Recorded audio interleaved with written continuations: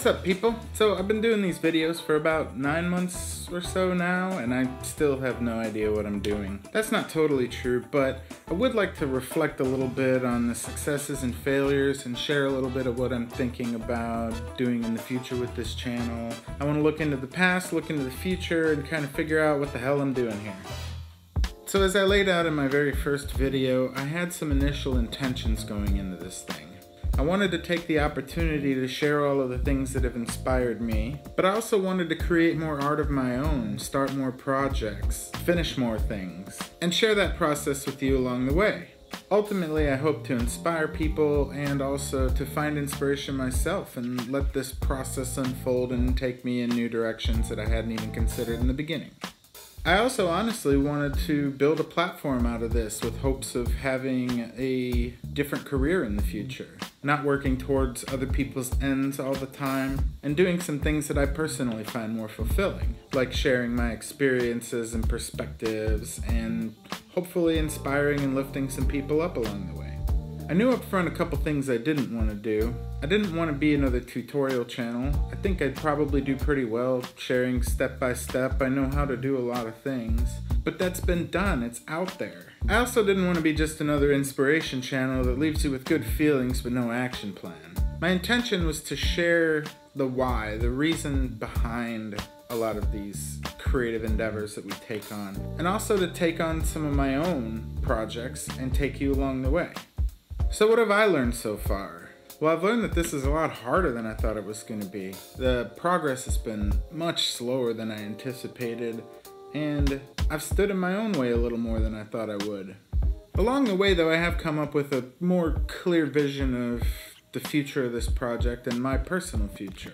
I feel like the content that I've been creating is useful to somebody. But one thing that I've learned is that the hardest part is actually finding those people it's going to mean something to.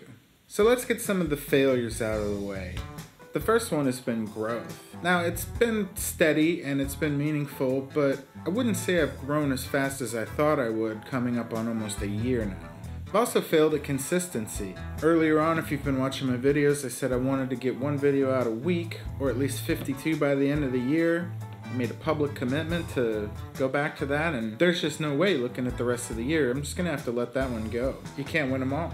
And monetization has been a failure for me. I haven't really figured out how I want to do that. I've been so focused on the type of content that I want to create and the position that I want to fill here that I haven't really taken any steps towards turning this into a lucrative career that can potentially replace the need for a day job. And so I've been getting by on freelancing on the side in addition to these videos, but this is really what I want to pursue in my life. This is the thing that gets me excited this is where I feel like I have the most to offer, and I'm hoping that I'm doing the right thing by not focusing on money in the beginning. But that word leads me to another failure focus. In the background, I feel like I've got a little bit of focus. I have an idea of what kind of videos do and don't fit into what I'm trying to do here. I definitely don't want to get too focused and really pigeonhole at this point. There are a lot of creative fields that I'm really into and excited about and so I just kind of want to share anything that touches the topic of creativity. But I haven't really defined a clear mission or goals for this thing. And those are the small failures, but let's talk about the number one biggest failure in my mind. And that's that I haven't started any new projects or created any art along the way yet. That was the initial goal that kind of excited me the most, and I've done nothing with it so far.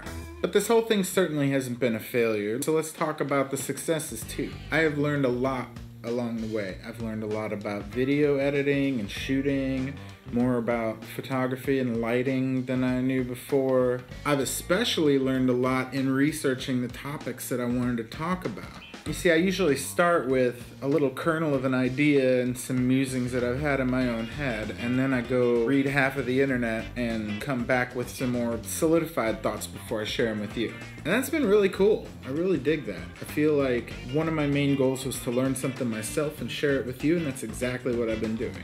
I've also had a really unexpected positive response from the people that I've focused on in some of my more recent videos. It's been really humbling to see some of the photographers that I've been talking about reaching back out to me and telling me that they appreciated my view and that maybe even it got them to think about their own work in a different way. I also feel like I've succeeded in that balancing act. I talked in the beginning and earlier in this video about not wanting to just teach tutorials step by step, not just wanting to inspire, but to live somewhere in the middle of those two things. I do feel like I've nailed that mark. At least in my own mind, I've achieved what I've been after there. If there's one thing that I've learned that I've been really excited about, it's that just focusing on the things that I love and sharing what I love about those things has really been enough. I haven't really had to tailor any videos to what I think the audience might want. And all I've really done so far is geeked out about things that I get excited about and things that I've been learning. But I think that's the number one success. While looking at the numbers and the growth and monetization and all of that doesn't really make me want to get out of bed in the morning, what does is I've really got some positive comments from you guys.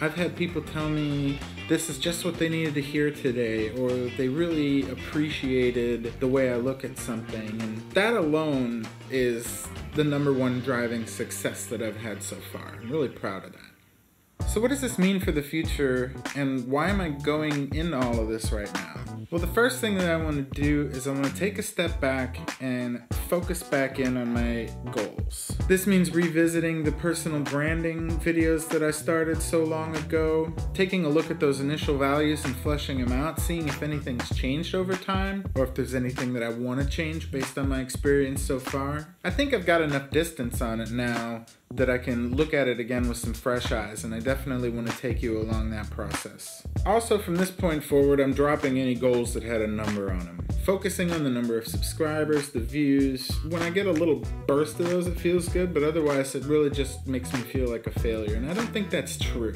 I think I just haven't found the right audience yet, but I know that they're out there because I, am one of them. I make the videos that I would want to see, honestly. So, audience numbers, views, any monetary goals, even that 52 videos by the end of the year goal, gone. No more numbers. I can't I can't do numbers. Numbers just don't feel right. What I'm going to continue to do that I've been doing is talking about work and ideas and books and whatever that inspires me. If something changed my view, if something touched me, if something made a positive impression on me, you can bet I'm going to share it with you guys. I love that. But in addition to that, I need to start my own projects.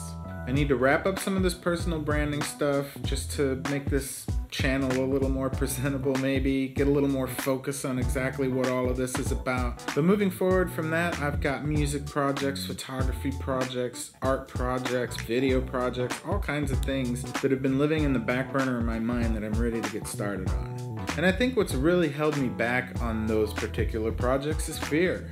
If I'm just being honest with you, I've been afraid to share my intentions.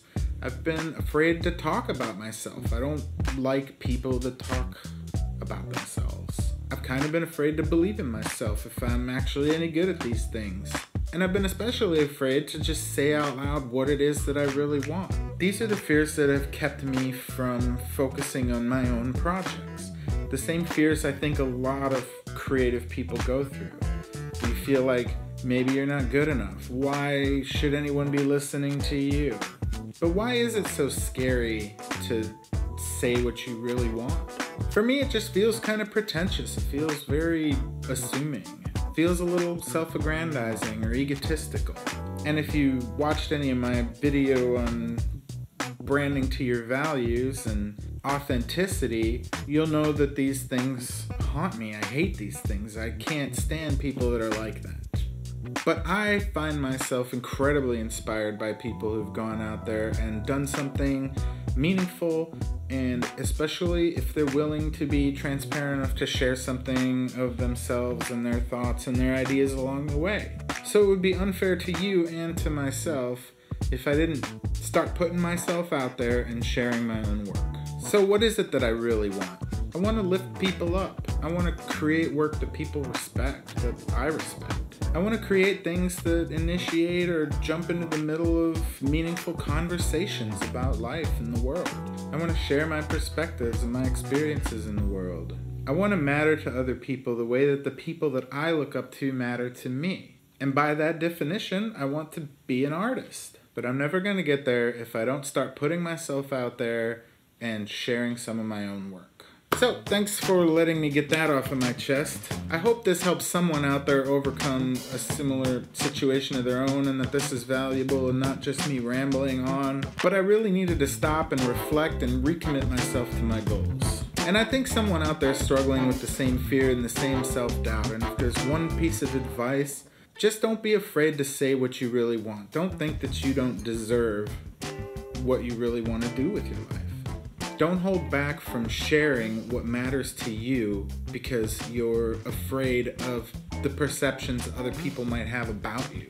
And don't even be afraid of your shifting perceptions about yourself. You're only going to feel better if you go after what matters to you.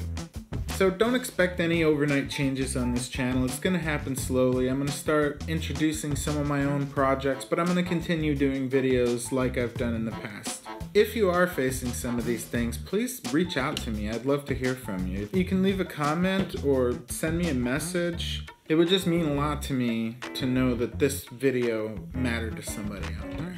And maybe together we can learn and grow and get past some of these obstacles that we all set up for ourselves. Thanks as always for hanging out with me, you guys. Till next time, peace.